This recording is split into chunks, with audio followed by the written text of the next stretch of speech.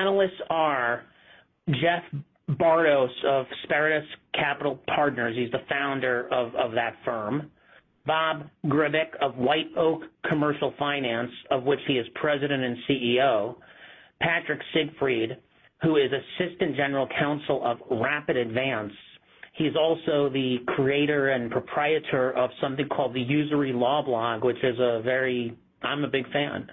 And again, I'm Jonathan Friedland. I'm an attorney. I'm with the law firm of Sugar, Felsenthal, Grais, and Hammer. So um, that's all we're going to say about ourselves because you're not attending this webinar to hear infomercials about us.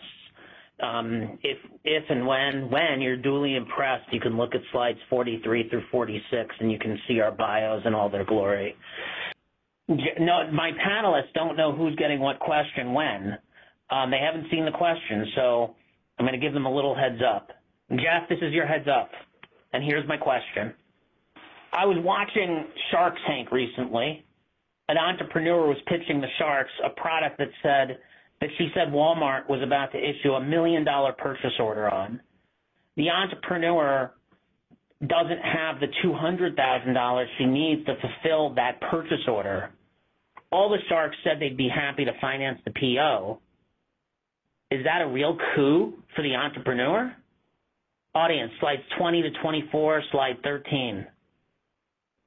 What do you say to that, Jeff? Jonathan, that is a, a good question to start with. And I would say yes for a couple of reasons. One, purchase order finance or PO finance is very well suited for early stage growing companies like this one that don't have the working capital to meet the customer demand.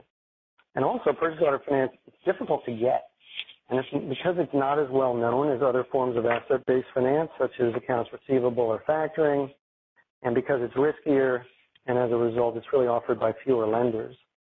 There are two situations that I think of that are perfect for purchase order finance. One is production financing, where a company has to pay for the manufacturing or assembly of their product, like this case, or finished goods financing, where a buyer or supplier has to buy product that's already been made and resell that either domestically or overseas. Those are the two main cases. There are other cases where it's relevant. But wait, so let, us highlight the terms production financing versus finished goods financing. Correct. Okay. Right. So you're thinking about the manufacturing, but also it can be relevant if you're just, say, buying product uh, from China, and there's a timing mismatch between when you need to buy and pay for that product and when you need it paid from your customer.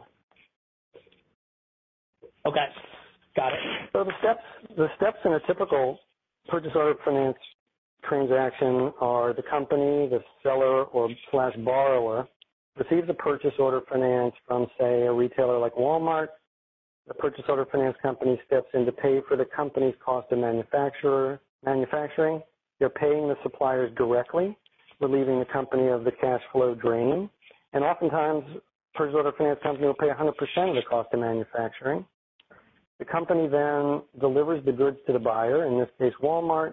Walmart agrees to pay, which generates a receivable. That receivable is assigned to the purchase order finance company. And so Walmart is essentially paying the finance company when they pay, and the finance company takes their fees and pays the company the net amount. So let me ask you this.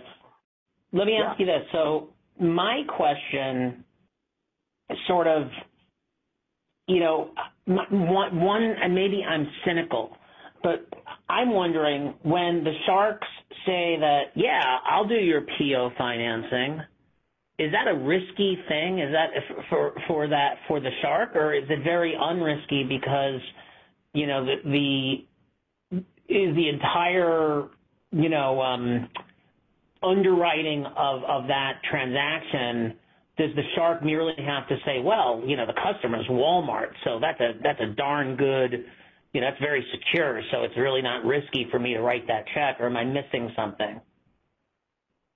Well, the big difference between purchase order finance and accounts receivable finance and why purchase order finance is much riskier is because you have not only the credit risk of Walmart, but you have the kind of the execution risk of the customer here being able to actually manufacture this product in a timely fashion without delay, without overruns. And so it's, it's a lot risky operationally and um, which, which differentiates it from accounts receivable. Okay. So just just from the White Oak viewpoint, you know, we we do production financing in the context of the whole relationship. And to Jeff's point, if it's an ongoing relationship with Walmart, and the customer, the client, the borrower has been doing business with Walmart for several years or a year, and he comes along and says, "Look, I just got my orders doubled. I need more financing." We will assess the risk and say, "You already have a history at Walmart. We know they accept your product. We know the production works. We'll finance that."